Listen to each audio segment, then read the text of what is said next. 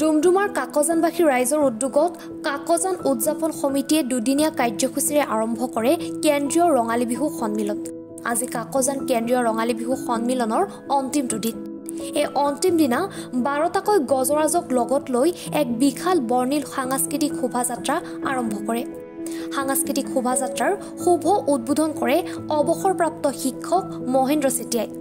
আজি বিশাল শোভাযাত্ৰাৰ কাৰ্যসূচীত স্থানীয় গায়ন বায়ন অঞ্চলটোৰ কেইবাখনো বিদ্যালয় সাংস্কৃতিক দল উদযাপন সমিতি সাংস্কৃতিক শোভাযাত্ৰাৰ দল মৰাণ গোৰ্খা আদিবাসীসকলে অংশগ্ৰহণ কৰে। সাংস্কৃতিক শোভাযাত্ৰাৰ মূল আকৰ্ষণ আছিল বাৰটাকৈ গজৰাজ। গজৰাজক চাবলৈ পথৰ দাঁতিৰ কাষত ভিৰ কৰা পৰিলক্ষিত হয়।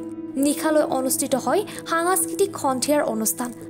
সাংস্কৃতিক সন্ধিয়াৰ অনুষ্ঠানত উপস্থিত নৱপ্ৰজন্মৰ দুগৰাকী জনপ্ৰিয় শিল্পী পাৰ্থজ্যোতি বৰুৱা আৰু মনালিছা মৰাণ।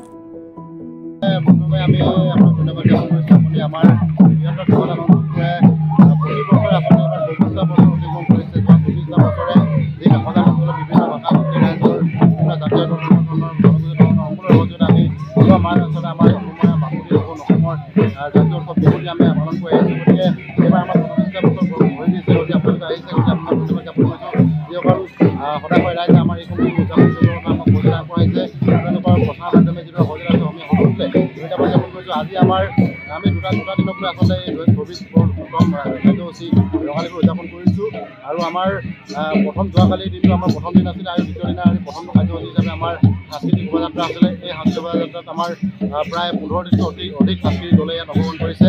আপোনালোকে দেখি পাইছে যে আমাৰ মৰাণ জনগোষ্ঠীৰ জাতীয় সম্পদ আমাৰ হাতী বাৰটাকৈ হাতীৰে আমাৰ এই শোভাযাত্ৰা আৰম্ভণি কৰিছে। সমান্তৰালভাৱে মৰাণ জনগোষ্ঠীৰ পৰম্পৰা ধৰ্মীয় পৰম্পৰা গায়ন বায়ন আছে। গায়ন বায়ন গায়ন বায়নৰ জৰিয়তে আমাৰ সাংস্কৃতিক সন্ধিয়াৰ সাংস্কৃতিক শোভাযাত্ৰাৰ সৌষ্ঠৱ বৃদ্ধি হৈছে। সমান্তৰালভাৱে আমাৰ মৰাণ জনগোষ্ঠীৰ বিহু দল আছে হাতী দল আছে চাহ জনগোষ্ঠীৰ হাতী দল আছে নেপালী সংস্কৃতিৰ মুখা দল আছে আৰু সমান্তৰালভাৱে ইয়াত বিভিন্ন কাষৰীয়া এই কাকজান অঞ্চলটোৰ বিভিন্ন কাষৰীয়া যিবিলাক বিদ্যালয় মহাবিদ্যালয় আছে এইচ এম ছেকেণ্ডেৰী স্কুলৰ পোন্ধৰ কৰি অন্যান্য যিবিলাক বিদ্যালয় আছে সকলো বিদ্যালয়ৰ শিক্ষক শিক্ষয়িত্ৰী ছাত্ৰ ছাত্ৰী সকলো সৌভাগ্যী ৰাইজে এই সাংস্কৃতিক আমাৰ সাংস্কৃতিক শোভাযাত্ৰা অংশগ্ৰহণ কৰিছে আমি ঘৰতিলে আছোঁ। এই মুহূৰ্তত আমি এই চেগতে এই স্থলীৰ পৰা প্ৰতিগৰাকী সাংস্কৃতিক শোভাযাত্ৰা অংশগ্ৰহণ পৰা সকলোকে ধন্যবাদ জ্ঞাপন কৰিছোঁ আৰু আমাৰ আজি সন্ধিয়ালৈ আমাৰ অসমৰ জনপ্ৰিয় দুগৰাকী কণ্ঠশিল্পী আমাৰ গীত পৰিৱেশন কৰিব।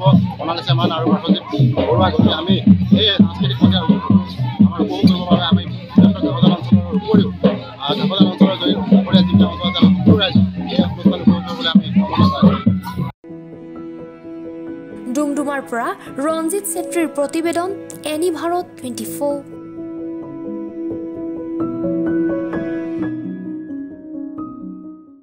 আপুনি ঔষধ বিচাৰি হাবাথুৰি খাইছে নেকি? যদি খাইছে তেন্তে এতিয়াৰে পৰা আৰু চিন্তাৰ কাৰণ নাই। কিয়নো আপুনি বিচৰা ধৰণৰ সকলো ঔষধ উপলব্ধ থাকিব নমন মেডিকছত নমন মেডিকছত অধিক পৰিমাণৰ ঔষধ ক্ৰয় কৰিলে আপুনি পাব দহ শতাংশ ৰেহাই কিছু দিনৰ পাছত নমন মেডিকছত উপলব্ধ হ'ব সকলো বিভাগৰ অভিজ্ঞ চিকিৎসক। গতিকে দেৰি কিয় কৰিছে? আমাৰ ঠিকনা গণেশগুৰি স্বৰ্গীয় খগেন মহন্ত পথ দিছপুৰ পলিক্লিনিকৰ বিপৰীতে।